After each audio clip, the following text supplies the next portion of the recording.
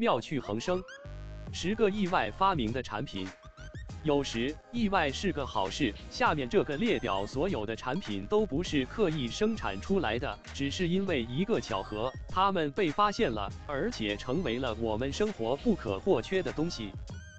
一冰棍。一九零五年，十一岁的弗兰克把他的制作苏打水的工具忘在了外面一整夜。第二天，用来搅拌苏打水的棍子和一些香料水冻在了一起，这就是第一根冰棍的诞生。一直到二十年之后，弗兰克才为他的冰棍制作技术申请了专利。二落健生发液。这种治疗掉发的液剂之所以被发现，是因为科学家们偶然注意到了一个现象，就是有一些病人，他们在服用了某种抗血压的药物后，反而使他们的头发变得浓密了，于是就用这种药剂制成了生发液。三、巧克力曲奇饼干。一个旅馆的老板露丝·梅克菲尔德在一次为他的客人烤制巧克力点心的时候，没有把所有的碎面溶解在一起。但是相反，客人们非常喜欢这种巧克力曲奇饼干的味道。四、微波炉。一九四五年，一个为雷声公司工作的工程师发现，当他在一种军事雷达设备旁边工作时，他装在口袋里的糖果棒融化了。于是他意识到放射线可能会烤化糖果。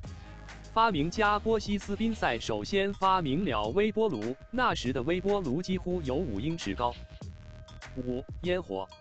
根据 How Stuff Works 网站上的描述，烟火是两千年前在中国发明出来的。传说是由于一个厨子不小心把木炭、硫磺和硝石混在了一起，就是这些在那个时候厨房中很容易发现的一些物质，最终产生了烟火。六、象牙皂。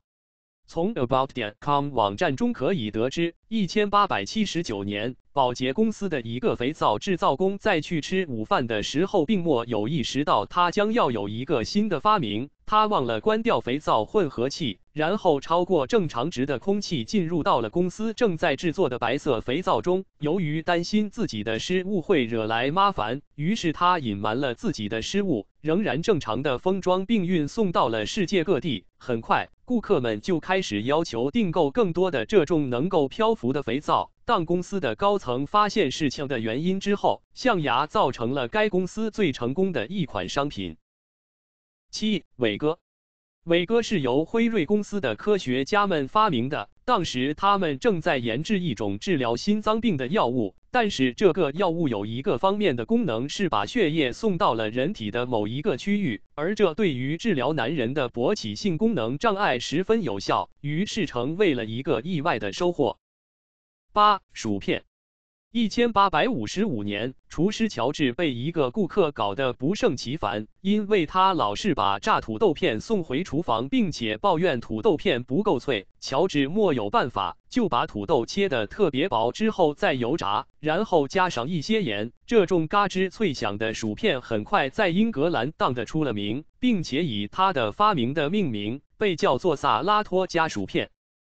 九，培乐多粘土。这种小孩子的玩具原本是一种强脂清洁剂。十、咖啡。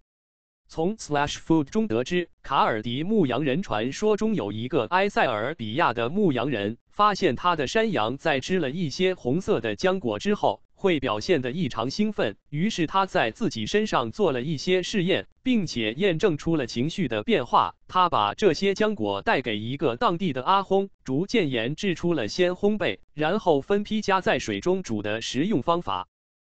下一部影片预告：疯狂，全球十大最肮脏的节日。感谢你的观看，记得分享及订阅我的频道，谢谢。